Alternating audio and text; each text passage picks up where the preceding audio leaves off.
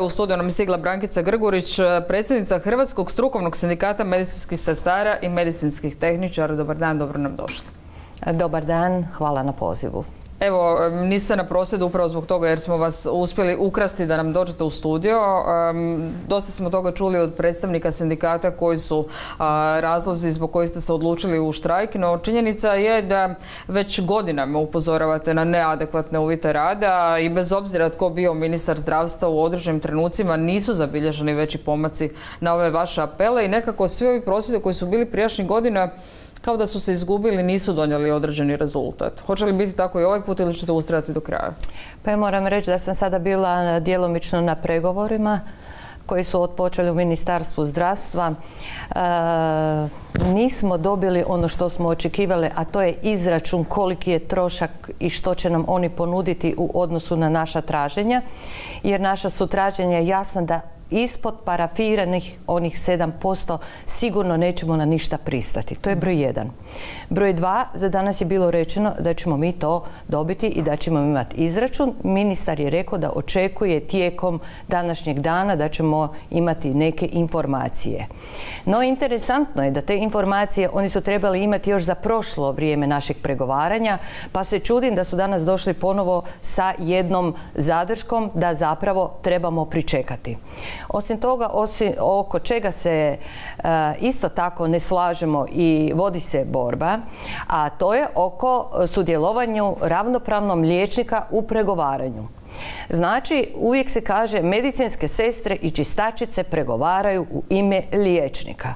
Ja i ovom putem Pozivam predsjednika vlade kada će pozvati sindikat medicinskih sestara koji smo mu uputili ne znam koliko dopisa da razgovaramo, da mu pokažemo i ukažemo činjenično stanje kakvo je u zdravstvu. Premda iz medija on sasigurno to zna i od svog ministra Kujundžića. Međutim, zašto se poziva određene struke na razgovore, a nas medicinske sestre kao da ne postoje. E ja ću reći javnosti zašto. Zato jer medicinske sestre su uvijek na raspolaganju, uvijek su tu i uvijek su spremne da rade više nego što je uopće to moguće. E, pouzdano znam da u, mnogim bolnicama medicinske sestre rade i više sati nego što je čak i zakonski propisano. Prekovremeni nisu plaćeni koliko znam. E, prekovremeni rad je plaćen kako u kojoj bolnici, mhm. ovisi od uprave bolnice do uprave.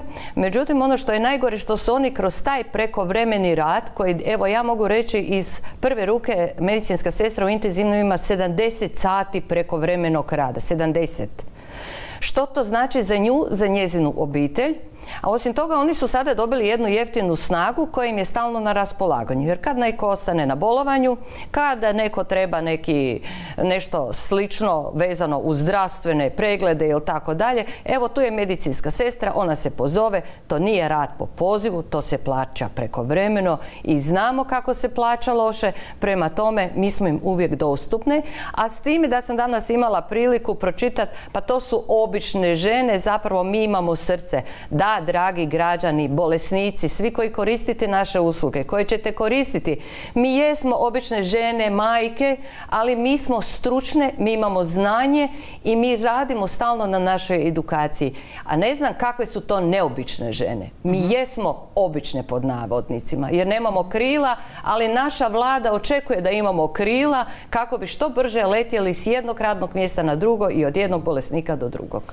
Da, e, predani rad obično se u ovoj državi čini mi se najmanje e, plaća. Koliko je zapravo prosječna plaća, da još jednom ponovimo, medicinske sestre koja evo, radi u smjenama, kao što ste rekli, u intenzivnoj 70 sati prekovremenih? Ta medicinska sestra, da se razumijemo, dobit će plaću od 7000 neto. Mhm. A zamislite vi koliko mi šparamo našoj dragoj državi, lijepoj Hrvatskoj, kada nada nas nedostaje 12 tisuća. Ako je bruto medicinske sestre 9000 kuna, pa vas pitam samo koliko je to po jednoj medicinskoj sestri na godinu ušteda, a koliko je ušteda znači na 12.000 medicinskih sestara, a koliko 20-30 godina da smo, sada smo došli do dna do dna, znači kolika je to ušteda, pa gdje su ti silni novci? Kuda oni odlaze da nas je sve manje, sve više radimo, natrpali su nam dnevne bolnice i neka su. Ljudi su bolesni, građani Republike Hrvatske zaslužuju najbolju skrb. I jučer ponovo slušam kako izdvajamo 750 eura samo za zdravstvo. A što bi oni, koliko bi izdvajali, kolika nam je plaća? Neka nam podignu plaću, neka nam daju sredstva za dostojan rad nas i naših obitelji i neka stave pravu cijenu usluga.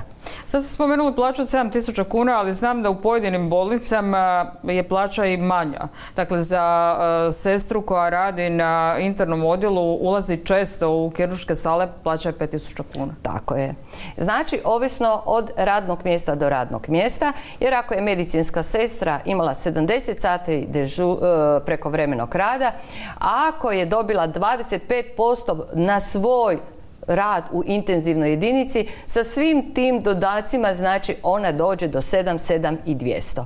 A kolegice koje zbrinjavaju 30 bolesnika i od toga bude i po 15 nepokretnih imaju plaću 5 i 800 do 6 i 100. To je poražavajuće. U vašim zahtjevima koliko imate potporu djelatnika evo koje ste sad spomenuli da zastupate pod navodnicima liječnika s kojima radite koji su zapravo vi ste im desna ruka i desna i lijeva ponekad? E, pa ja ću reći sljedeće. Naši liječnici, većina njih je svjesna što im znači jedna kvalitetna sestra na odjelu i što ona sve radi međutim, nikako ne mogu shvatiti da vlada donosi uredbe preko noći, da stalno čitamo nove uredbe, nove zakonske akte, pravilnike, a da nisu uspjeli riješiti reprezentativnost sindikata, odnosno naših dragih liječnika. Pa što je sad tu? Kakav je tu problem? Znači imaju neku drugu taktiku ili igru. Ili nas žele dovesti stvarno da nas liječnici tretiraju kao mi smo umjesto njih pregovara. Mi ne pregovaramo umjesto naših liječnika. Liječnici pregovaraju sami za sebe. Ali u ovom prosvjedu e, hoće li sudjelovati u 5 do 12 liječnici i e, medicinsko osoblje? Pa sigurna sam da će liječnici dati podršku. Oni isto imaju pravo na pauzu za stanku od pola sata. Mi smo dio tinama, mi ravnopravno radimo kako je napisano. Pa neće valjda sestra imati istu odgovornost kao i liječnik. Ne, ja sam medicinska sestra, ja ne operiram, ali ja zbrinjavam bolesnika prije operativnog zahvata, u vrijeme operativnog zahvata sudjelujemo i nakon operativnog zahvata. Zato vjerujem da će naši liječnici podržati jer ovo je za sve nas za bolje uvjete rada i za plaćeno radno mjesto. E, ukoliko ne dođe do dogovora, koji je sljedeći korak? Pa mi smo već u pripremama, znači mi ne čekamo 31.10. pa da bude telefonska sjednica vlade i da se desi ne znam koje čudo svjetsko, Prema tome, mi sada spremamo i ostale akcije, jer naprosto ne možemo čekati listopad, jer je nama rečeno ima vremena. Drugovi, dragi moji, nema nikakvog vremena. Vaše vrijeme je već davno isteklo. Meni je jučer deset medicinskih sestara reklo da je upisalo tečaj njemačkog i da odlazi iz mhm. Hrvatske. Pa zar se naša vlada, zar se predsjednik vlade ne pita pa što se zbiva, što možemo učiniti kada je Bugarska i Rumunjska povećala plaće svojim sestrama za 30%. Mi smo u prvotnom tražili puno. Sve su nam zapravo skresali na minimum. Međutim, niti taj minimum ne, ne žele nam dati, odnosno ne dati. Nama niko ništa ne daje. Oni plaćaju naš rad. Prema tome, gdje će naći novce i koje uvozne sestre? Pa ja pitam ovom prilikom sada, znači da su osigurali stanove za uvozne sestre, jer ako se hvale da će one biti plaćene 500 do 700 eura, pa gdje će te medicinske sestre stanovati? U kojim stanovima, valjda su već odredili i stanove kad će uvesti sestre, jer ako će imati takvu plaću kao mi, pa ja se pitam kako će ona živjeti u našoj lijepoj zemlji. Osobito ću spomenuti Dubrovnik, Split, turističke e, gradove gdje u vrijeme sezone se povećava cijena stanarina. Jasno. A, s tim da, evo, naša medicinske sestre opet pouzdano znam provjereno, dakle, odlaze na rad u Njemačku u e, domove za stare i nemoćne, plaćaju 1800 eura u početku i smještaj. Tako je. Kolegica evo upravo mi je rekla, ima 1800 eura, ima smještaj, usput će još učiti dodatno njemački kako bi što brže napredovala i čekaju mjesto u, u Frankfurtu u bolnici gdje će opet napredovati i dobiti za to plaću. Neće niko ništa dati nama, niko ništa ne daje, mi sve to zaradimo. Što znači ovo da pojasnimo još jednom linearno povećanje plaća, pa onda manjak, odnosno nepostojanje kolektivnog ugovora na koji se stalno vlada poziva? Pa da, naša vlada je lukava. Još jednom ćemo sada ušparati na zdravstvu jer znači mi imamo kolektivni e, ugovor koji smo produžavali. Pretpostavljam da potpisujete sve ove riječi vaše kolegice iz KBC-a Zagreb.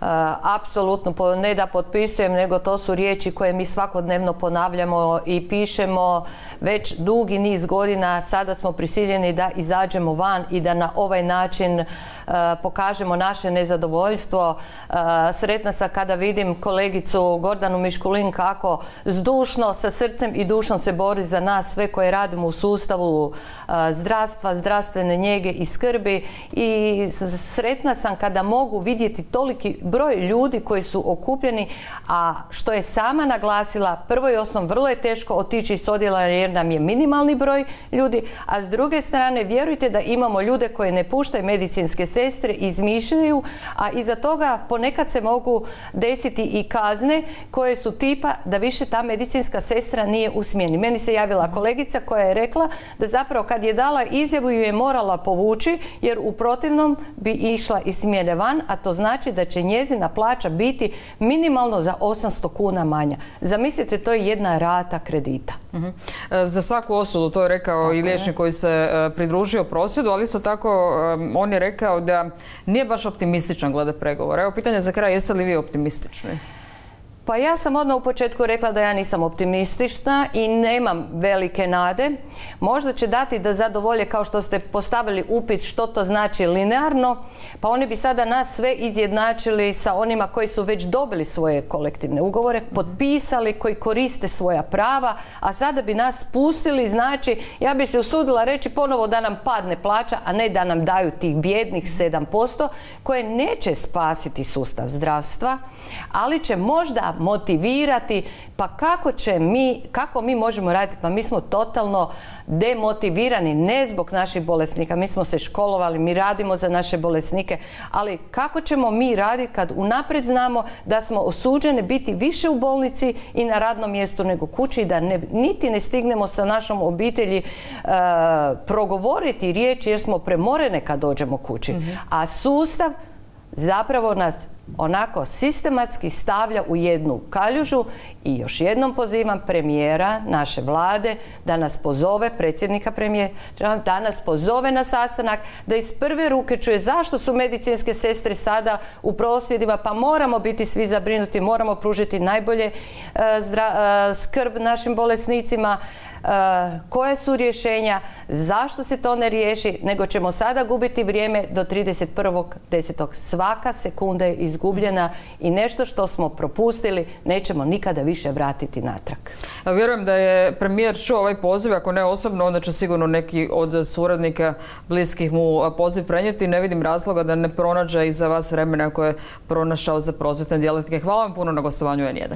Hvala i vama i pozdrav svima kolegicama, držite se, idemo dalje, svi zajedno naprijed. Hvala puno.